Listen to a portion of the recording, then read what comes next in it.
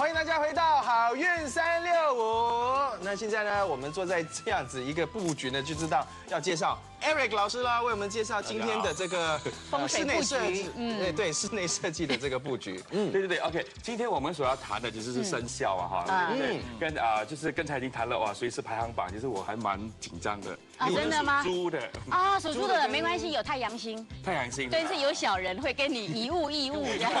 要远离女人，再新的一年。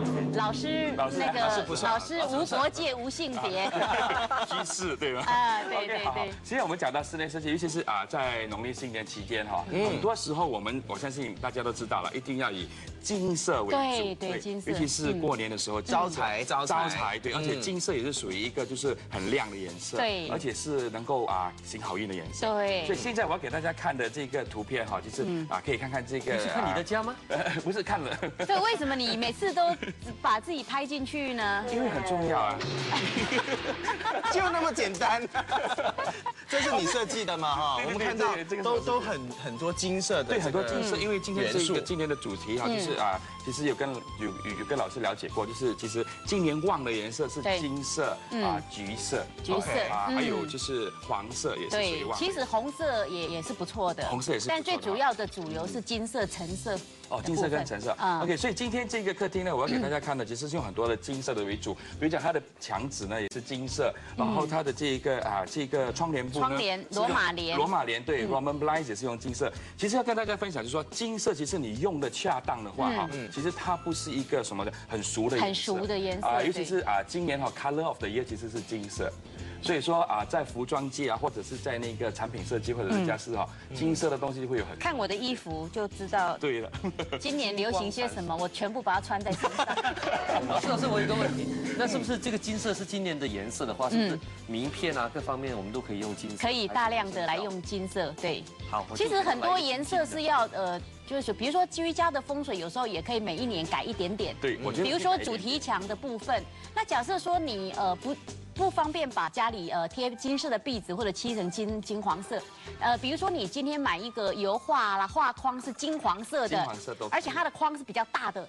这个其实也啊，这个也吻合我们的这个居家布局的部分。哦嗯，对，而且就是说金金色，因为它是它是很，其实，在设计方面它是属于蛮俗的颜色，所以金色我们就不能够把它当做很大的主题，就把它点缀，只能用点缀啊拿点缀，而且拿来当它的小小的 accessory 这类型的东西。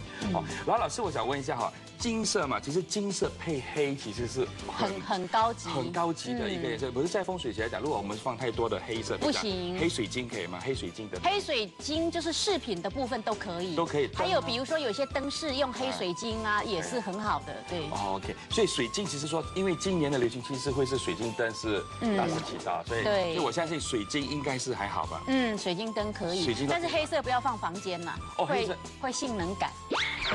放客厅 OK，还好我的房间是红色的。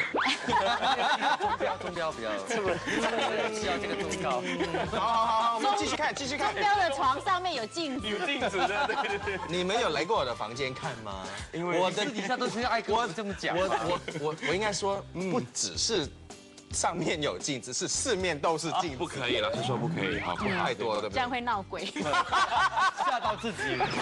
哎，栋梁，你你房间什么颜色啊？我房间其实是白色，偏白色，简单，非常简单，白色跟黑色。哎哦白色跟黑色但是黑色不要用太多就就我的窗帘布是纱的黑色，哦。窗帘布然后可是它里面是搭一个呃米色哦，哦，就两层，所以让有他他会看得到那个它的 contrast 啊。对对。嗯，那那所以白色，老师是白色的话，白色是代表他还在等纯纯的爱。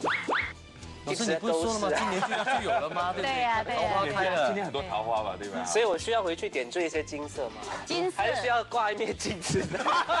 哎，那个哈，你来我家，因为老师说我太多，我送你的。你拿唱片来跟他换。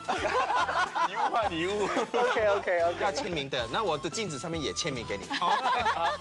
OK，其实老师说，哦我想知道说，如果说是白色来讲哈，因为白色我们知道是属于啊水的嘛，就是水还是不，白色属金啊，属金的，对，所以其实它属鸡，用金的颜色其实是对的。是金鸡独立，对对对对，所以白色是属。那猪是猪猪猪仔是配什么颜色？猪仔配蓝色最好，好不好？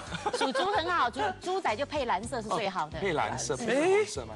猪仔蓝色跟黑色其实都是很好的但是因为黑，我比较不主张用整面墙在家里面。对，因为黑其实哦，黑其实在我们颜色学来讲，黑色它是一个很 depressing，就是对很忧会忧郁的颜可是我色。老师我的书房是深蓝色，比这个还要深。深蓝哈，如果题墙就是主题墙。对，如果你主题墙在书房，因为书房是我们看书、思考或者是创作的地方。如果是深蓝色，这个人的那个呃思想会比较忧郁，就是想的太多，想的太深，想的太远，有一点先天下之忧而忧。啊，所以是优越小生。呃，不是，老师说先天下之忧而忧，所以我是那种 后天下之乐而乐，就是别人都享福完了之后，你最后一个才轮到你我太关。心大家，我博爱。其实其实博爱是很好听的哈，反义词顿。